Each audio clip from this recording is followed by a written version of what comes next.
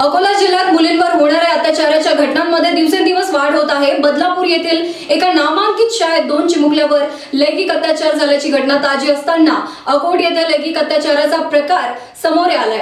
अकोला जिल्ह्यात नेमकं चाललंय तरी काय असा प्रश्न नागरिक उपस्थित करत आहे. अकोला शहरात घरात कोणी नसल्याची संधी साधत एका चोवीस वर्षीय नरधामाने दहा वर्ष मुलीवर लैंगिक अत्याचार केलाय. एवढंच नाही तर तिला जीवमानाची धमकी दिली. मुलीने जो काय प्रकार घडलाय तो आपल्या आई वडिलांना सांगितल्यानंतर लगेच पोलीस स्टेशनला तक्रार दाखल करण्यात आली. हा आरोपी नात्याने वडिलांचा मामेभाऊ आहे.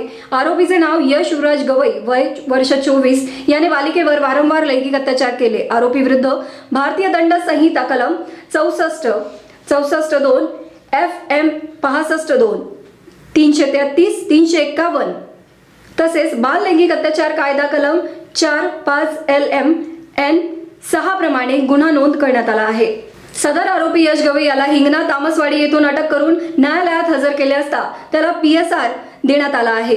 जिल्हा पोलीस अधीक्षक बच्चन सिंग अपर अधीक्षक अभय डोंगरे उपविभागीय अधिकारी कुलकर्णी यांच्या मार्गदर्शनाखाली पुढील तपास पोलीस निरीक्षक चंद्रकला मेसरे करीत आहेत.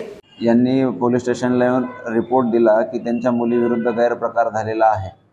मुलीला विश्वासात घेऊन महिला पोलीस अधिकारी आणि महिला स्टाफ यांच्या वतीने मुलीला विश्वासात घेऊन तिची विचारपूस केली असता तिने झालेला घटनाक्रम पोलिसांना सांगितला. घटनाक्रम साधारणतः तीस आठ दोन हजार तेवीस ते कालपर्यंत कालपर्यंतचा आहे आणि दिलेल्या माहितीवरून अकोट फाईल पोलीस स्टेशन येथे बी एन एसच्या सेक्शन्स आणि पोक्सो का कलम चार सहा अंतर्गत गुन्हा दाखल करण्यात आलेला आहे.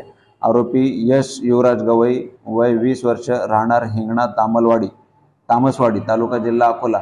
याला अटक करण्यात आलेली आहे आणि पुढील तपास ए पी आय मेश्रे जुने शहर पोलीस स्टेशन यांच्याकडे तपास देण्यात आलेला आहे महिला अधिकारी म्हणून.